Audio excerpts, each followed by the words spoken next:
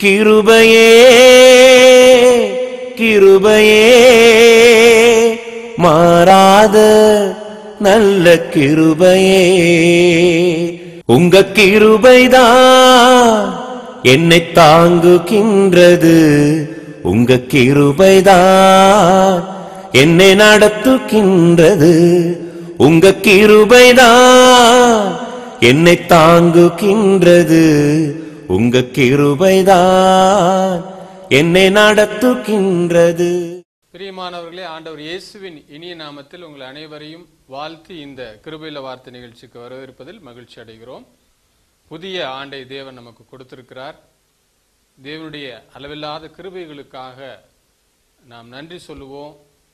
இம்மட்டும் இந்த கொடுமையான சூழ்நிலைகளிலே நமக்கு ஜீவன் தந்து நம்மை பலப்படுத்தி காத்து வருகிற தேவனுக்கு நாம் நன்றி சொல்லுவோம்.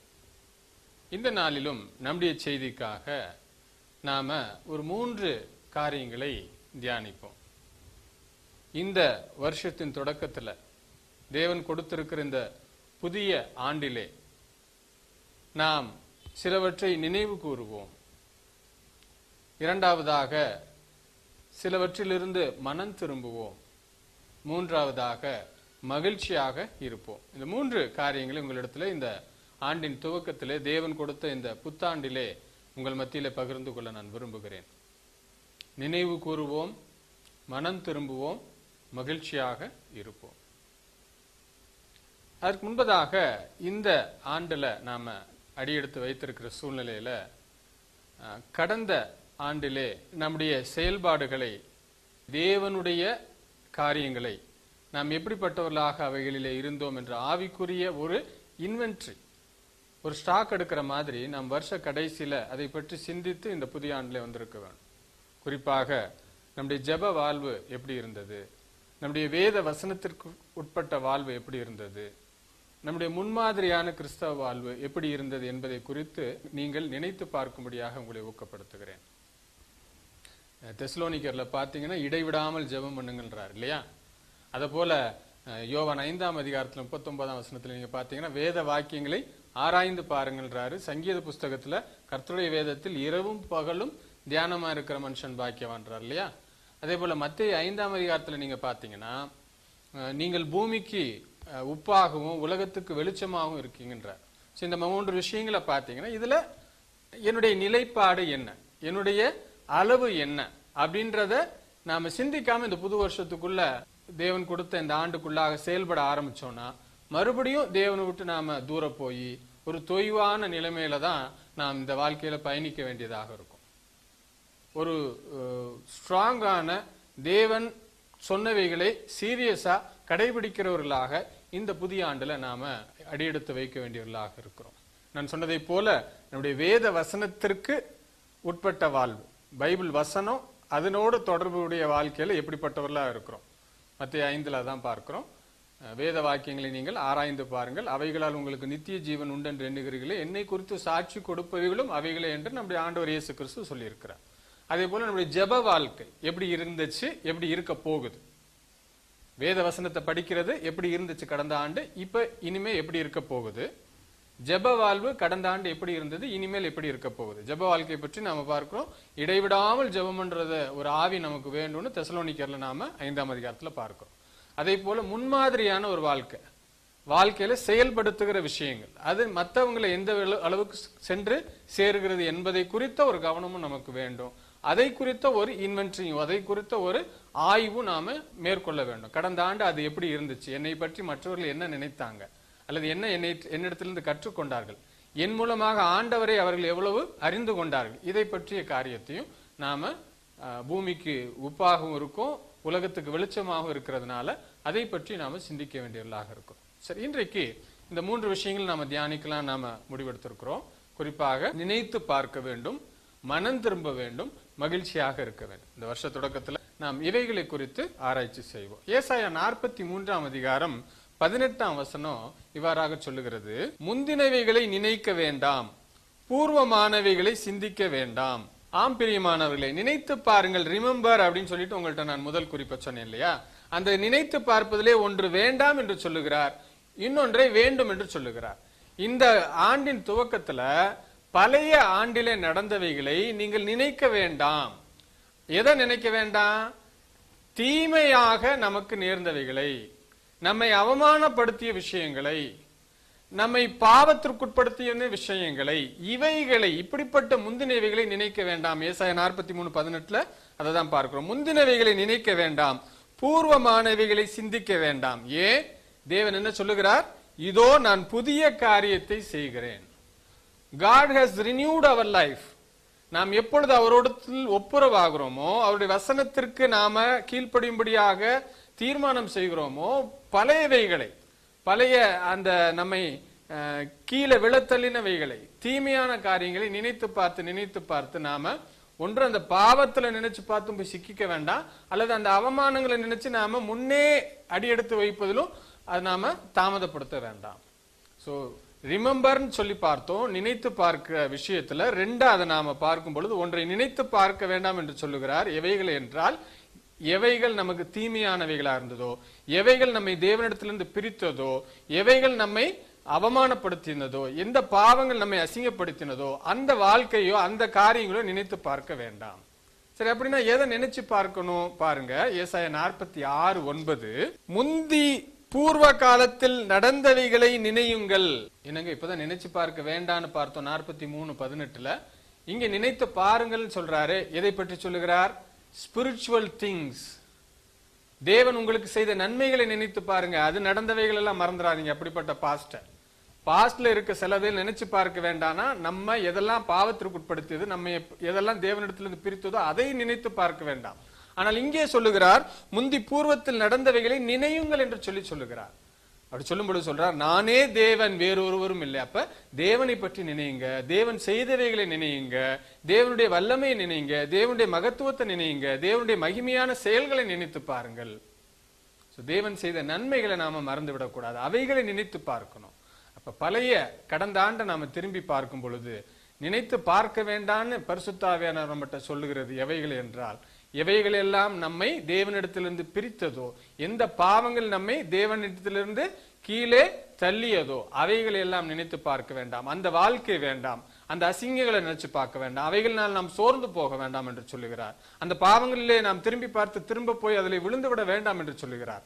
ஆனால் நினைத்து பாருங்கள் என்று இங்கே நாற்பத்தி ஆறாம் அதிகாரத்தில் அவர் சொல்லும் பொழுது நீங்கள் முந்தினவைகளை நினைத்து பாருங்கள். தேவன் செய்த நன்மைகளை நினைத்து பாருங்கள். தேவன் நடத்திய பாதைகளை நினைத்து பாருங்கள். தேவன் எவ்வளவு நல்லவராக இருந்தார் என்பதை நினைத்து பாருங்கள் என்றெல்லாம் நாம் யோசிக்க வேண்டியவர்களாக இருக்கிறோம். நானே தேவன் எனக்கு சமானம் இல்லை. ஆகையினாலே தேவன் நினைக்க வேண்டாம் என்று சிலவைகளை சொல்லியிருக்கார். நினைத்து பாருங்கள் என்று சிலவைகளை சொல்லியிருக்கிறார். ஒன்று நாளாகம பதினாறாம் அதிகாரம் பதிமூணாம் வசனத்துல அவர் செய்த அதிசயங்களையும் அவருடைய அற்புதங்களையும் அவர் வாக்கின் நியாய தீர்ப்புகளையும் நினைவு கூறுங்கள். தேவனுடைய வாக்கின் நியாய தீர்ப்புகளை நினைச்சு பாருங்க. அவர் சொன்னா எப்படி அதை நிறைவேற்றுவார்? அவர் சொல்ல அதை செய்யலைன்னா அது எப்படி நடக்கும்? இதெல்லாம் நினைச்சு பாருங்கன்றார்.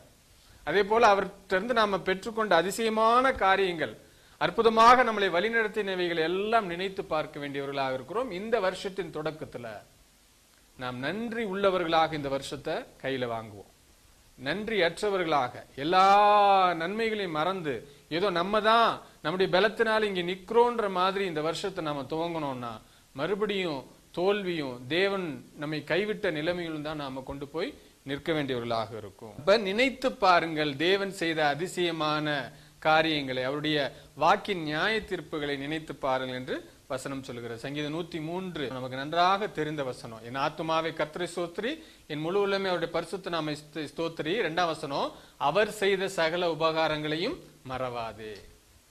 அப்ப நினைச்சு பார்க்க வேண்டான்னு அவர் தீமையானவர்களையும் பாவங்களையும் அசிங்கமான வழியையும் வேணான்னு சொல்றவர். நினைத்து பாருங்கள் என்று தேவன் செய்த நன்மைகளையும் மகத்துவமான காரியங்களையும் அவருடைய அற்புதமான வழி நடத்துதலையும் நினைத்து பாருங்கள் என்று நம்மிடத்திலே சொல்லுகிறார். சங்கீதம் எழுபத்தி ஏழு பதினொன்னு பன்னிரெண்டுல நீங்க பாத்தீங்கன்னா கர்த்தருடைய செய்கைகளை நீங்கள் நம்ம என்ன செய்யணும்? நினைவு கூறுவேன் என்று அங்கே சங்கீதக்காரன் சொல்லுகிறார். உம்முடைய பூர்வத்து அதிசயங்களை நான் நினைவு கூறுவேன் என்றும் சொல்லுகிறார். அவருடைய செய்கைகளையும் அவருடைய அதிசயமான படைப்பு அதிசயமான நம்முடைய வாழ்க்கையிலையும் அவைகள் நடந்திருக்கலாம்.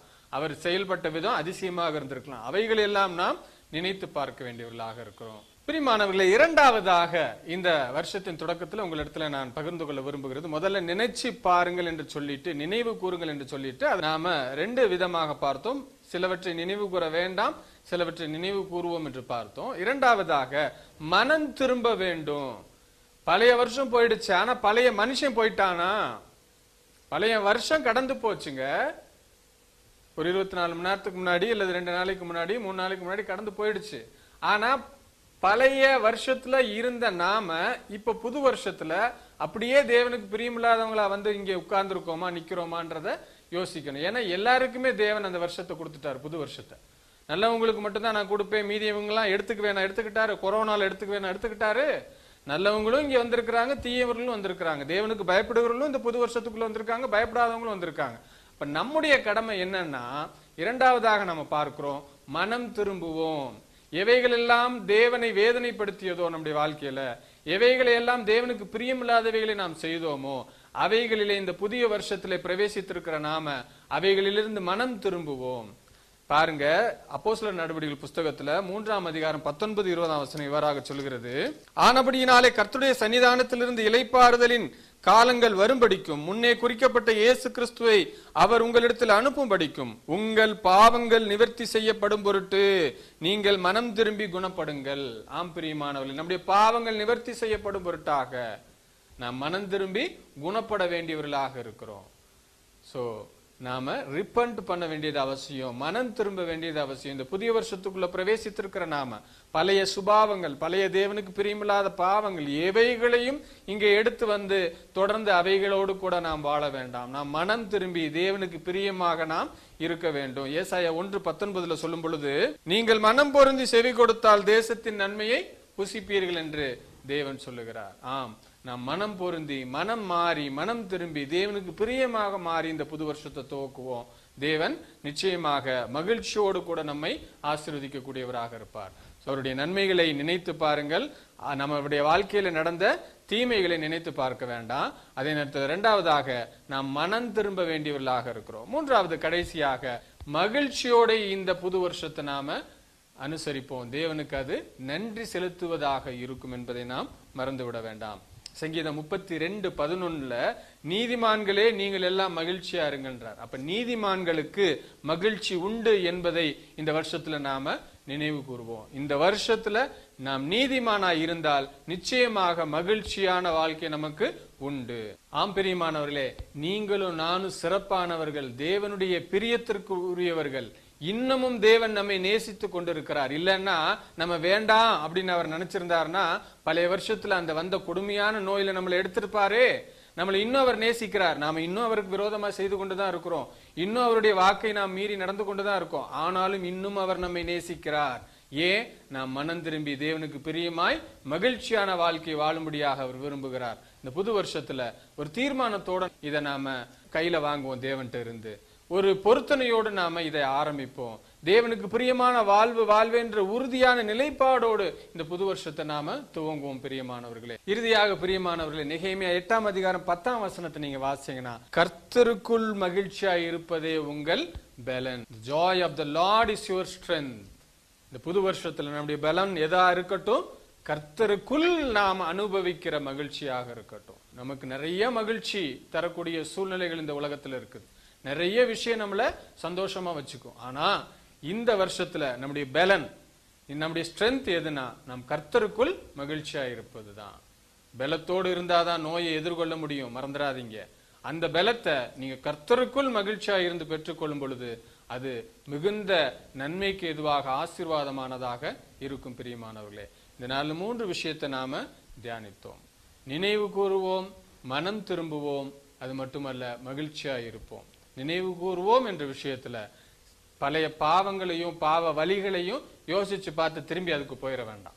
அல்லது தீமையான அசிங்கமான அவமானங்களை கொண்டு வந்த விஷயங்களை நினைச்சு பார்த்து சோர்ந்தும் போயிட வேண்டாம். ஸோ நினைவு கூறுங்கன்ற விஷயத்துல சிலதை நினைச்சு பார்க்காதீங்க.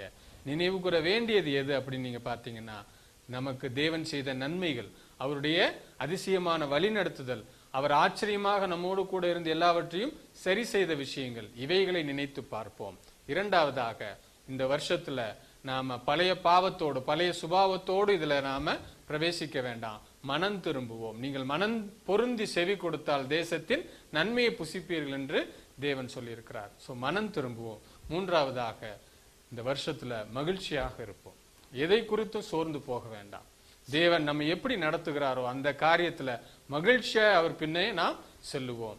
கர்த்தருக்குள் மகிழ்ச்சியா இருப்பதே உங்கள் பலன் என்று பரிசுத்த ஆவியானவர் சொல்லியிருக்கிறார். ஆகினாலே உங்கள் மகிழ்ச்சியை எல்லாம் நண்பர்களோடு சேட் பண்ணுறதுலையோ நண்பர்களோடு அல்லது உறவினர்களோடு சந்தோஷமா குமாலமாக குமாலமா அல்லது கூத்தாக இருக்கிற விஷயங்கள் எல்லாம் தவிர்த்துட்டு கர்த்தருக்குள்ளான மகிழ்ச்சியை எப்பொழுதும் கண்டுபிடிப்போம். அதுதான் நம்முடைய பலமாக இருக்கும் என்பதை மறந்துவிட வேண்டாம். தேவன் தாமே இந்த புதிய ஆண்டிலே இந்த கிருபையை நமக்கு தந்து வழி நடத்துவாராக ஜெபம் செய்வோம். நல்ல பிதாவை துதிக்கிறோம். நீர் கொடுத்திருக்கிற புதிய ஆண்டுக்காக நன்றி. இந்த ஆண்டிலே எங்களை நாங்களே பரிசோதனை செய்து இந்த வருஷத்துக்குள்ள பிரவேசிக்க எங்களுக்கு கிருபி செய்யும்.